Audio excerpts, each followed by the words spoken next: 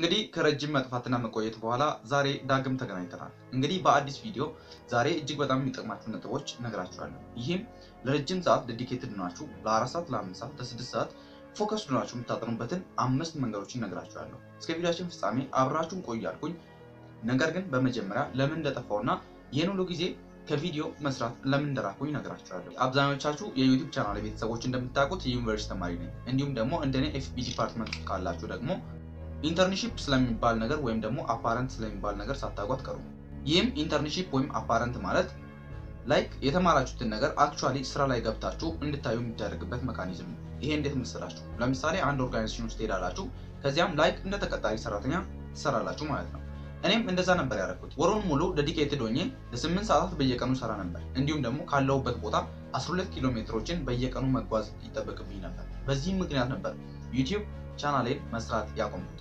ለዚህ ነው አንድ ወር ሙሉ የጠፋሁት። ለምን እንደጠፋሁ በግልጽ ተረድታችሁኛል ብዬ እገምታለሁ። እንግዲህ ወደ ዛሬው ቪዲዮ እና ነጥብ ሳልፍ በመግቢያ ላይ እንደነገርኳችሁ ለረጅም ሰዓታት እንዴት focus አድርገን እንደምናጠና በዛሬው ቪዲዮ እነግራችኋለሁ። ነገር ግን ወደ ቪዲዮ ከማለፋችን በፊት እኔ አሸናፊ ጥላሁን እባላለሁ። ዛሬ ገና ወደዚህ ቻናል የመጣችሁ ካላችሁ ቻናሉን subscribe በማድረግ ጀምሩት። እንዲሁም ደግሞ ነባር ከሆናችሁ ደግሞ like እና share በማድረግ ተባበሩኝ እያልኩኝ አሁን ወደ ቪዲዮ አልፋለሁ። focus ሆነን ለረጅም ሰዓት እንድናጠና ከሚያስችሉን አንደኛውና ዋነኛው ነጥብ ውስጥ አንዱ ክፍለ ጊዜ ማውጣት ነው።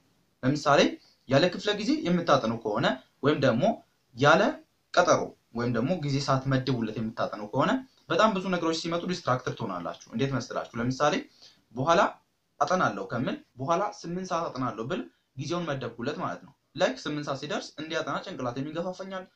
ውስጤም መጀመሪያ ላይ ፕላን ስላደረግኩት በግድ ማጥናት እጀምራለሁ ማለት ነው። ለምሳሌ የሆነ ሰው ተገናኝታችሁ ነገ እደውልልሃለሁ ከምትሉት ነገ ሰባት ሰዓት ላይ እደውልልሃለሁ ብትሉት የተሻለ ውጤት አለው ማለት ነው። ስለዚህ በደንብ አድርጋችሁ focus አድርጋችሁ ለማጥናት የምትፈልጉ ከሆነ ጊዜና ሰዓት መድቡለት። በቃ ያለ ጊዜና ያለ ሰዓት የምታጠኑ ነገር productive አያደርጋችሁም። ለምሳሌ እንበልና ያለ ጊዜ እያጠናችሁ ከሆነ social media ሲኖር social media ትገባላችሁ፣ ቲቪ ሲከፈት ቴሌቪዥን ታያላችሁ፣ እንዲሁም ደግሞ ብዙ ነገሮች distract እንዲያደርጉላችሁ ትፈቅዳላችሁ ማለት ነው።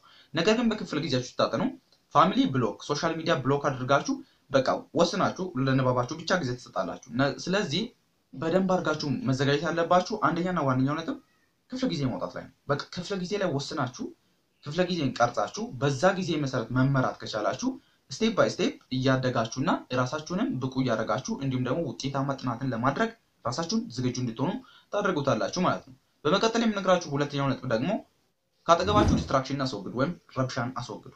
አብዛኛው ተማሪ የሚቸገርበት ነገር አንዱ እኔ እኮ እረበሻለሁ፣ ሳጠና ይረብሹኛል፣ አብዛኛው ነገር ያስቸግረኛል የሚለው ከሆነ አንደኛ ስልካችሁ ከሆነ ስልካችሁን notification የሚያስገቡ social media platform ኦችን block ማድረግ ወይም ደግሞ block የሚያደርጉ application ኦችን መጫን። ሁለተኛ ነገር ደግሞ ቀን ቀን መኪና የሚረብሻችሁ ከሆነ ጊዜያችሁን የምታጠኑበትን ወደ ማምሻ መቀየር ወይም ደግሞ ሌሊት ሌሊት ለማጥናት መሞከር።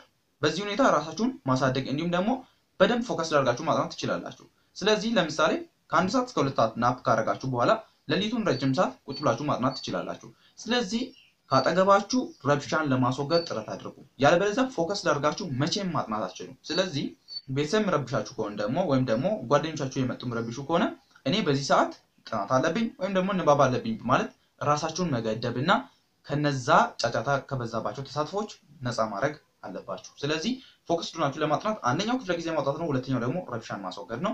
አሁን በመቀጠል ወደ ቀጣዩ ነጥብ አልፋለሁ። ወደ ቀጣዩ ነጥብ ስናልፍ ከሰላሳ የጥናት ደቂቃ በኋላ እረፍት መውሰድ ወይም ደግሞ break መውሰድ። ይሄ Pomodoro technique ይባላል። አብዛኛውን ጊዜም በዚህ ቻናል ላይ አንስቼዋለሁ፣ አውርቼዋለሁ።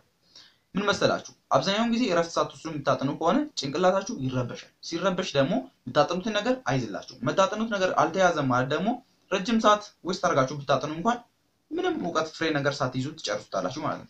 ስለዚህ ማድረግ ያለባችሁ ነገር እረፍት መውሰድ ነው።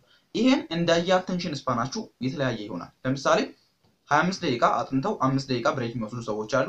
30 እና 35 ደቂቃ በላይ አጥንተው 10 ደቂቃ እረፍት የሚወስዱ አሉ። እንዲሁም 40 ደቂቃ አንድ ሰዓትም አጥንተው break የሚወስዱ ሰዎች አሉ። ስለዚህ እናንተ attention span ኣችሁ የቱ ጋር ነው ያለው? እሱን በደንብ መለየትና በሚገባ በዛ መስመር ለማጥናት መሞከር ነው። ለምሳሌ ልምሰላችሁ አብዛኛውን ጊዜ እኔ ሳጠና break እወስዳለሁ መሀል ላይ፣ ምክንያቱም ጭንቅላታችሁ እንደገና refresh እንዲያደርግ እንደገና energize እንዲሆን ታደርጉታላችሁ። ስለዚህ በደንብ focus አድርጋችሁ ረጅም ሰዓት ማጥናት የምትፈልጉ ከሆነ የጭንቅላታችሁን power እንዳይቀንስ የምትፈልጉ ከሆነ በየ30 ደቂቃው እረፍት መውሰድ ወይም ደግሞ break መውሰድ ያስፈልጋችኋል ማለት ነው። በመቀጠል የምነግራችሁ አራተኛው ነጥብ ደግሞ በቂ ውሃን መጠጣት ነው። ከዚህ በፊት አንስቼ አውቃለሁ። አንድ ክፍል ውስጥ የሚማሩ ተማሪዎችን ወደ ፈተና ከመግባታቸው በፊት ለሁለት ከፈሏቸው። ግማሾቹ በቂ ውሃ ጠጥተው ወደ ፈተና እንዲገቡ፣ ግማሾቹ ደግሞ በቂ ውሃ ሳይጠጡ ወደ ፈተና እንዲገቡ ተደረገ። በዚህ ሁኔታ የመጣ ውጤት አስደንጋጭ ነበር። በቂ ውሃ የጠጡ ተማሪዎች ከፍተኛ ውጤትን መስራት ችለዋል። ይህም ማለት ጭንቅላታችን ፈጣን እንዲሆን ከሚያደርጉ አንደኛና ዋነኛ ነገሮች ውስጥ አንዱ በቂ ውሃ መጠጣት ስለዚህ ስታጠኑ ከጎናችሁ ሊሆን ይችላል፣ ብቻ በሆነ ሁኔታ ውሃ አጠገባችሁ አድርጋችሁ ማጥናት መቻል አለባችሁ። ስለዚህ ውሃን በበቂ ሁኔታ እየጠጣችሁ የምታጠኑ ከሆነ ጭንቅላታችሁ active መሆን ይችላል፣ ፈጣን መሆን ይችላል። በዛም productive የሆነ ጥናትን ማድረግ ትችላላችሁ። በመቀጠል የማነሳላችሁ ነጥብ ደግሞ ራሳችሁን ሸልሙ። ራስን መሸለም ማለት እንዴት መሰላችሁ? ለምሳሌ የምትወዱትን ምግብ መብላት ሊሆን ይችላል፣ ቡና መጠጣት ሊሆን ይችላል፣ ሻይ መጠጣት ሊሆን ይችላል፣ ቺፕስ መጠቀም ሊሆን ይችላል። በዚህ ጊዜ በዚህ ሁኔታ የምታጠኑ ከሆነ በጣም motivated እየሆናችሁና ተነቃቅታችሁ እንድታጥኑ ያስችላችኋል። ለምሳሌ እንበልና አብዛኛውን ጊዜ እያጠናችሁ ያላችሁት ረጅም ሰዓት ያለምንም ራሳችሁን ማነሳሳትና ራሳችሁን motivate ሳታደርጉ የምታጥኑ ከሆነ ትደበራላችሁ ወይም ደግሞ boring ያደርጋችኋል ጥናቱ ራሱ። ስለዚህ በዚህ ሁኔታ ደግሞ productive የሆነ ጥናትን ልታደርጉ አትችሉም። ራሳችሁን የምትሸልሙ ከሆነ ለምሳሌ ይሄን ዛሬ አጥንቼ ጨርሳለሁ፣ ከዛ በኋላ ራሴን ሸልመዋለሁ ወይም ፊልም አያለሁ አሊያም ደግሞ social media ልጠቀም እችላለሁ ልትሉ ትችላላችሁ። በዚህ ጊዜ ግን አንድ ነገር ልብ ማለት ያለባችሁ አምስት ደቂቃ break ቅድም ባልኳችሁ ሀያ አምስት ደቂቃ ጥናታችሁ አምስት ደቂቃ break አችሁ መሀል ራሳችሁን ስትሸልሙ social media ባትገቡ ይመከራል። ምክንያቱም አንደኛ ነገር social media ከገባችሁ በኋላ ለመውጣት አስቸጋሪ ስለሆነ፣ ሁለተኛ ደግሞ social media ከገባችሁ በኋላ ወይ ተደስታችሁ ወይ አዝናችሁ ነው የምትወጡት። በዚህ ሁኔታ ጭንቅላታችሁ ተረብሾ ወደ ቀጣዩ ጥናት ጊዜ ስትገቡ ደግሞ ራሳችሁን በሙሉ አቅም ወደ ጥናታችሁ እንድትገቡ አያስችላችሁም። ተደስታችሁም ከወጣችሁ ያን ነገር ታስባላችሁ፣ እንዲሁም ደግሞ ተደብራችሁም ከወጣችሁ ያ ነገር እናንተን ይገድባችኋል። ስለዚህ social media ን በአምስት ደቂቃ break አችሁ ውስጥ እንዳትጠቀሙት እንዲሁም ደግሞ like ስትጨርሱ ጥናታችሁን ከጨረሳችሁ በኋላ ራሳችሁን ብትሸልሙት ያ productive ያደርጋችኋል እና ራሳችሁን እየሸለማችሁ ለማጥናት ሞክሩ። በየአምስት ደቂቃው social media ባይሆንም ሌላ ነገር ራሳችሁን እየሸለማችሁ በሚገባው ማጥናት መጀመር አለባችሁ። እንግዲህ በዛሬ ቪዲዮ ላይ ይዤላችሁ የመጣሁት ነጥብ እነዚህን ይመስላሉ። በሌላና በአዲስ ቪዲዮ እስክንገናኝ ድረስ መልካም ጊዜ፣ መልካም ቆይታ። ባይ ባይ።